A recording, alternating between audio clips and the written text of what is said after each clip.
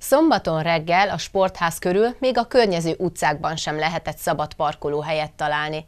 Az ok az volt, hogy nálunk rendezték meg az országos birkózó diákolimpiát. Volt itt minden, ugyanúgy, mint a nagyoknál, ünnepélyes megnyitó, eskütétel, olimpiai láng meggyújtás és óriási küzdelem a szőnyegeken. Birkózó diákolimpiai döntőnek adott helyet Hajdu Szoboszló a hétvégén. Egy héttel korábban területi bajnokság sikeres szereplői juthattak tovább erre a fordulóra. 14 súlycsoportban versenyezhetek a fiatalok iskolájuk színeiben. Az utóbbi időben ez a sportág fellendült.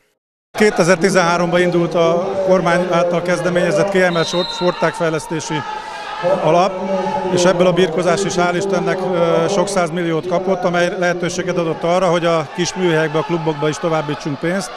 Így azt látjuk, hogy most már országszerte több mint 100 klubba indult meg a birkozó élet, ennek eredményeként pedig megduplázódott 13 előtti létszám, tehát jelenleg több mint körülbelül közel 5000 birkozó birkozik az országban. Marosi György Csongor, mint a Birkozó Egyesület elnöke üdvözölte az egybegyűlteket, és kívánt mindenkinek sportszerű versenyzést. Miután meggyújtották az olimpiai lángot, valamint letették az esküt, kezdetét vette a döntő.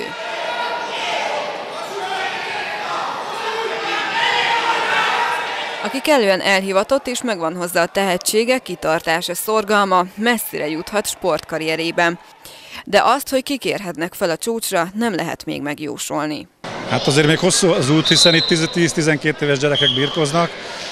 Reméljük, hogy nem fogják elbízni magukat egy diák olimpiai bajnoki címmel, hiszen tudjuk, hogy ahhoz, hogy valaki fölérjen az igazi olimpiai dobogóra, hát az 15-20 év kőkemény munkája, ők még tényleg az út elején állnak, de látok nagyon sok tehetséges gyereket, és bízunk benne, hogy 10-15 év múlva ezek a kis fiatal srácok majd ott fognak állni a dobogó tetején is. Bacsa Péter a következőképp nyilatkozott a hajdúszoboszlói birkózók sportéletről.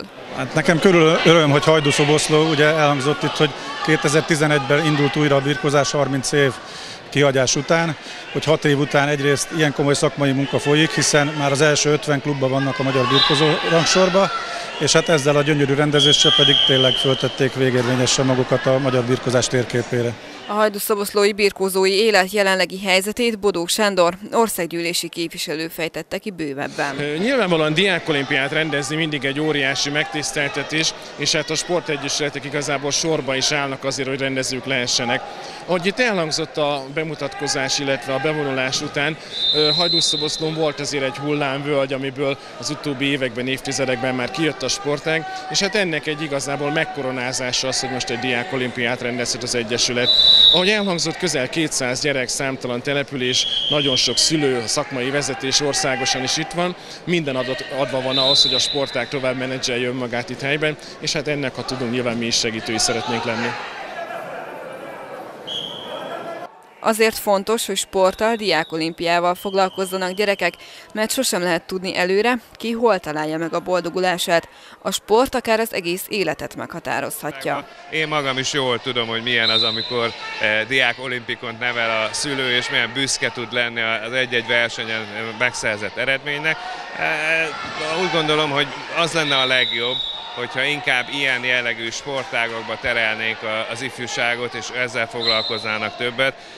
A sokszor károsztatott és nem igazán jól kivitelezett mindennapos testnevelés helyett egyesületeket, diák egyesületeket kellene jobban megerősíteni, és erre a sportra, erre a lelkesedésre, erre az egészséges életmódra nevelni a gyerekeket. Készül Beklák Barta Dorog,